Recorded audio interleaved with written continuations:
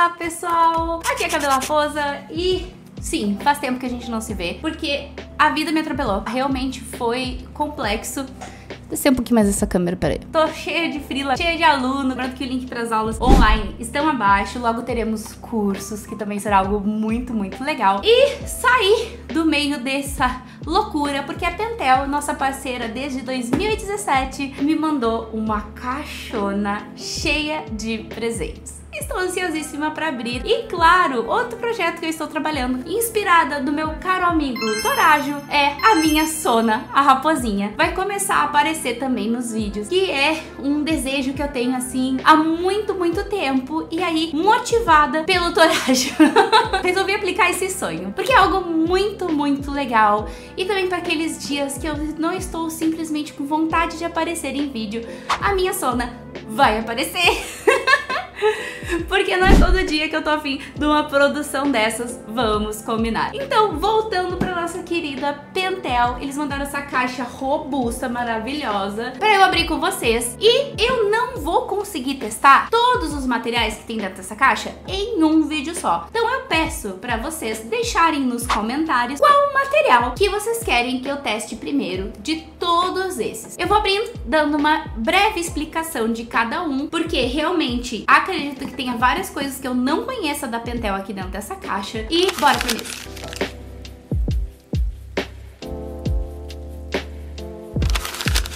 Caixinha da Pentel em mãos. Estiletezinho de gatinho. E vamos abrir. Ui. Lembre-se, não utilize estilete sem a presença de um adulto responsável. Aí, achei.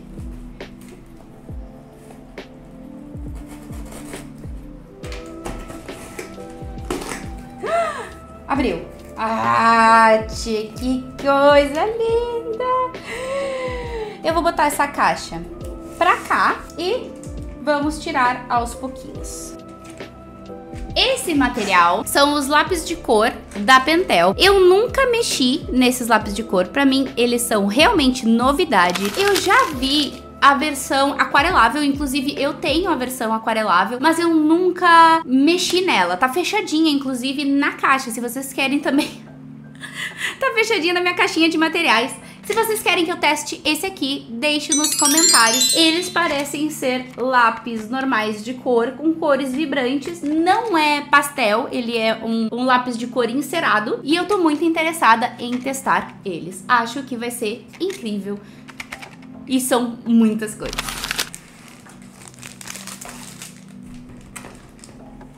Próximos materiais, esse aqui prendeu.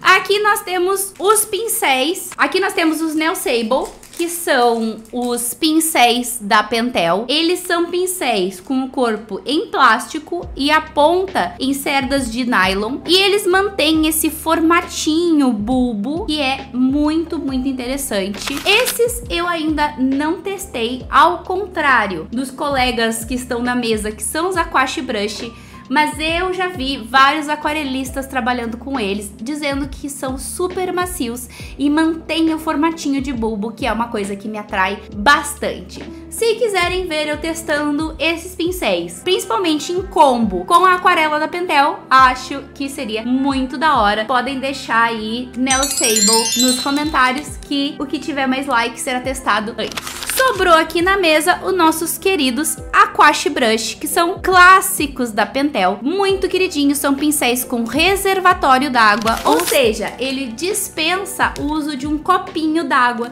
então facilita bastante para quem quer aquarelar na rua, nanquinzar na rua, é muito, muito, muito legal nesse sentido. Eu já tenho os meus, esses aqui eu já recomendo para os meus alunos, mas se quiserem que eu teste em um vídeo específico, pode deixar aí nos comentários. Aquashi Brush. Ok, Ok, aqui nós temos um companheiro de aventura que também já é um queridinho meu. Já tem vídeos dele, tanto no meu canal do YouTube quanto no canal da Coralha, que são os Color Brush. Esses aqui, a ideia deles é muito parecida com a dos Aquash Brush, com a grande diferença que aqui dentro vem aquarela líquida e aquarela líquida de altíssima qualidade. Lembrando que a graça, principalmente, é que a cor da tinta é a mesma cor da tampa, facilitando assim a seleção do material de vocês para a cor que exatamente vocês querem. E elas são recarregáveis, elas vêm com a mina recarregável e são muito tranquilas de utilizar, as cores são incríveis e eu já sou muito, muito fã. Inclusive, vou deixar no card ali no topinho o teste que eu fiz junto com a Coralie desses Color Brush, que é um manual, um vídeo meio velhinho, tá? Eu acho que até eu vou fazer um novo de novo. Então, se vocês quiserem ver eu testando ele agora, com mais maturidade, mais experiência, deixe nos comentários Color Brush, que esse aqui é um material que eu garanto, já fiz um Inktober inteiro com ele, dois Inktobers eu acho, inteiros com ele. Maravilhoso, adoro demais. Aqui nós temos um clássico, a nossa querida aquarela da Pentel. É uma aquarela que eu uso, inclusive o resultado dela é sempre muito legal. Deixa eu mostrar uma aquarela recente que eu fiz. Olha que linda essa aquarela. Eu infelizmente não gravei um vídeo dela porque, ah, me esqueci. Mas elas têm as cores muito, muito legais. Eu gosto bastante. A fixação dela no papel. E uma das principais características dela que eu gosto muito é que as primárias dela são primárias primárias muito fáceis de trabalhar, que são essas três aqui. Em, todo o conjunto vem elas, então é muito, muito, muito bom. Esse conjuntinho aqui, ele é o ideal. A única tristeza é que ele não tem o magenta, que é o Purple Red, no caso da, da tabela de cores da Pentel, que é a minha cor favorita e é a cor que eu mais uso. Mas você pode comprar a bisnaguinha separada e pegar o seu conjuntinho de 12. E aqui tem muita, muita, muita variedade, muita mistura de cor. Lembrando que apesar de eu usar ele com frequência nos vídeos, vídeos, eu nunca fiz um vídeo inteiro dedicado a esse conjunto. Se quiserem, então, Watercolors da Pentel, pode deixar nos comentários. E agora, acabou as coisas de fora da caixa e sobrou uma caixa... Meu Deus! Olha só o tamanho dessa caixa e ela tá pesada, galera. Não quero dizer nada, mas acho que aqui tem muita coisa legal. Muito bem, vamos abrir essa caixa. Meu Deus do céu, é muita coisa. Poxa, Pentel, eu nem gosto de caneta. eu nem gosto de caneta, eu não gosto... Gente, eu já fui ameaçada. Já me disseram que se eu comprasse mais uma caneta, ia ser eu a caneta entrando e eu saindo de casa. Pra vocês terem noção de quanto eu não gasto com caneta, tá? delicinha. Vamos separar elas, tá? Pra gente ver, porque eu acho que tem algumas que estão misturadinhas. Vamos separar elas em grupos de primas irmãs e vamos conversar sobre elas. Cara, ah, que delícia!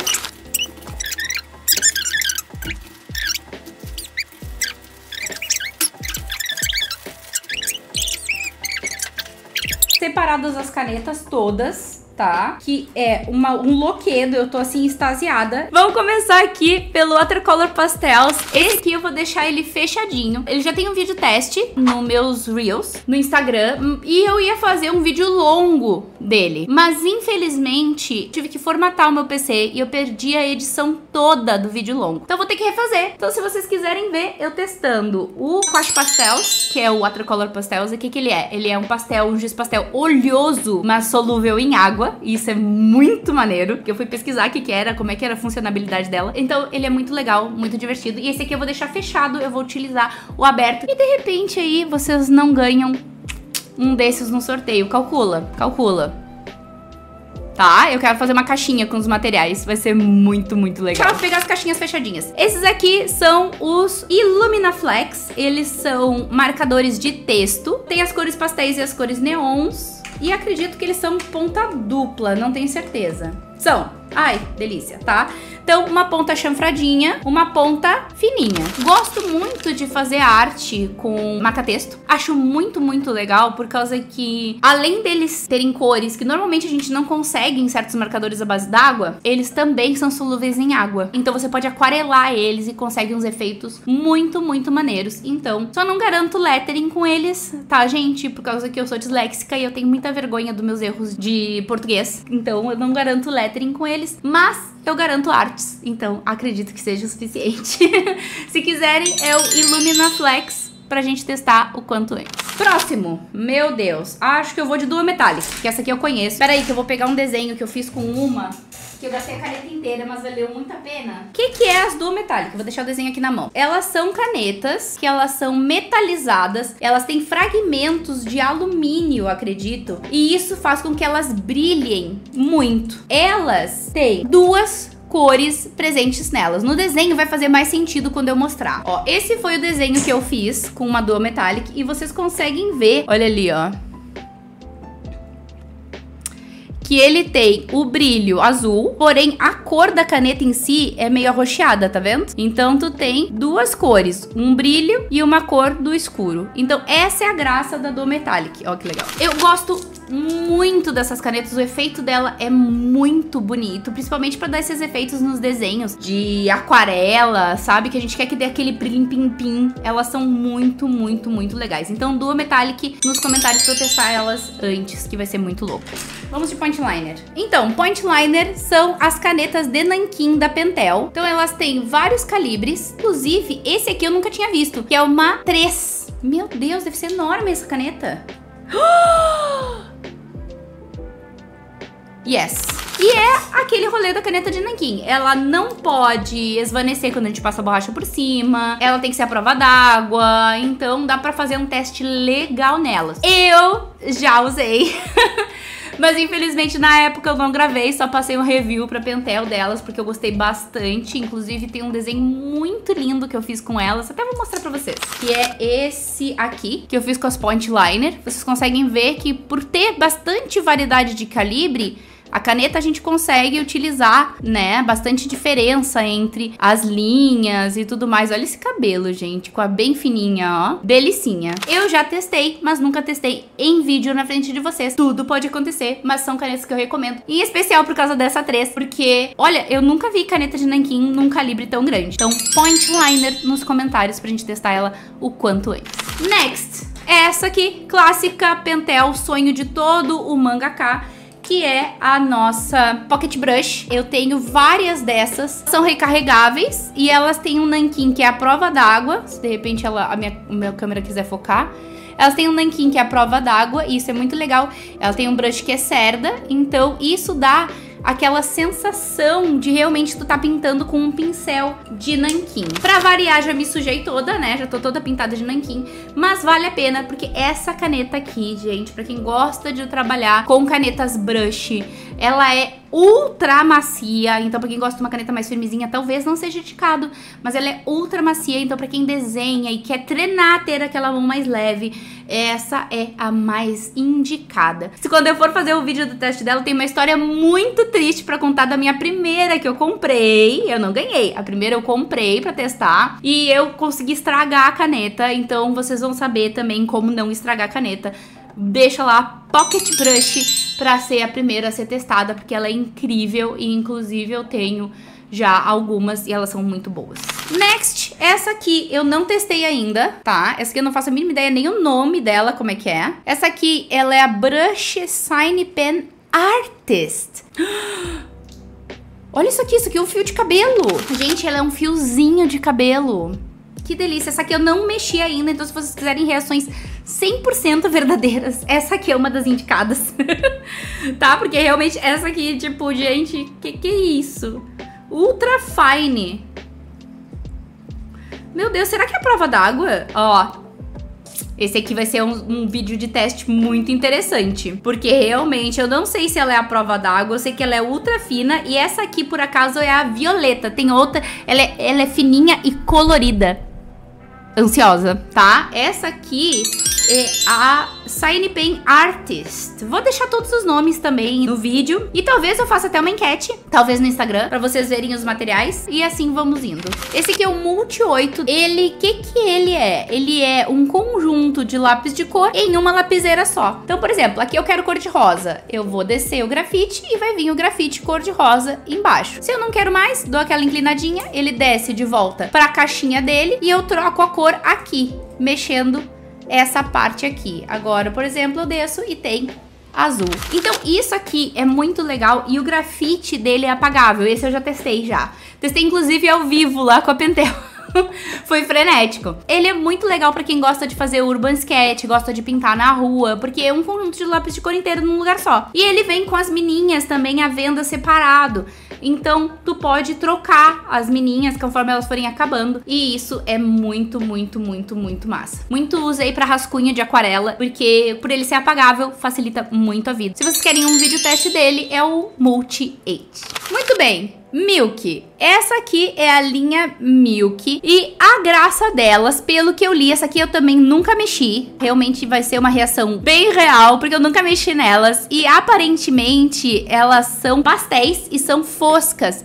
Ou seja, pra gente que gosta de trabalhar em papéis escuros, com papéis pretos ou fazer detalhes em aquarelas, talvez essa aqui seja deveras interessante, tá? Então ela vem em todas essas cores, o tamanho delas é 0,8, não é um tamanho muito fininho, mas acredito por elas serem foscas, o calibre tem que ser maior, por causa que até para ela ser fosca ela precisa de certos ingredientes dentro dela que podem travar, então por isso que ela é uma 0,8. Se ela for muito fininha, por isso não caia nessa história de caneta branca ou caneta que seja pastel, que seja com a ponta muito, muito, muito fininha, provavelmente ela vai entupir, tá? Então, essas aqui são as Milk da Pentel e será um prazer testá-las, porque realmente eu nunca, nunca, nunca mexi nelas. Não posso dizer nada, porque não mexi, mas as cores são maravilhosas. Inclusive, esse lilás e esse rosa aqui, ó, tão perfeitos. Eu queria eles no meu cabelo. Maravilhosas. Então, Milk nos comentários para elas serem as primeiras. Ok, essas aqui é as favoritas de muita gente, tá? Que elas são a Brush Sign. Essas aqui, eu já uso elas. Eu uso elas tanto para desenhar, vou mostrar um exemplo aqui, ó. Eu já uso elas pra desenhar, então eu gosto muito do resultado. Só o narizinho ali é um grafite, tá? Porque eu tava ensinando pra um aluno como sombrear um nariz. Mas é a cinzinha, eu gosto muito da cinzinha, acho a cor muito legal. E eu uso ela bastante na hora de estudar. Gosto muito delas pra fazer lettering. Apesar que eu disse pra vocês que eu não faço lettering em vídeo por causa da minha dislexia. Eu, apesar de ser uma pessoa bem desavergonhada pra certas coisas, pra minha... Uh... pra minha dislexia é uma das poucas coisas que eu tenho muita, muita muita, muita vergonha de errar palavras. Já errei palavras ao vivo. Ai, fazendo teste de caneta de lettering e eu fiquei bem envergonhada, tá? Então, por favor, não me peçam pra fazer lettering ao vivo. Eu posso desenhar pra vocês qualquer coisa que vocês pedirem, mas fazer lettering para mim é muito, muito, muito difícil. Eu fico muito, muito envergonhada quando erro uma letra. Mas essas canetas, elas são maravilhosas, elas têm uma, uma maciez muito legal e por elas serem a base d'água também são aquareláveis, então você consegue fazer coisas muito, muito, muito incríveis nelas. E, tipo, a variedade de cor também magnífica. Então, essa aqui é a Sign Pen se vocês quiserem que eu teste ela antes, cara, vai dar pra gente fazer umas coisas muito maneiras com elas. Inclusive tip to tip. Nossa, tem muita técnica pra fazer com elas, tá? Essas aqui já são de uso comum meu. Inclusive, elas estão ali no meu cantinho das canetinhas. E aí eu vou ter mais cores, que várias cores que eles me mandaram eu não tenho ainda na minha coleção. Então, maravilhoso. Obrigada, Pentel. Essa aqui eu já vi vídeo dela, que é a Matte Hop. Então, essa aqui tem a mesma proposta da Milk. Ela é fosca e ela pinta sobre várias superfícies. Tanto que o calibre dela é 1. É um calibre bem alto mesmo. A graça dela é ela ser uma caneta fosca que pinta sobre qualquer superfície. Nunca testei, nunca testei. Já vi vídeos da galera usando. Fiquei hypada, por causa que eu gosto muito de personalizar a capa dos meus sketchbooks. Eu colo adesivo e desenho neles, normalmente.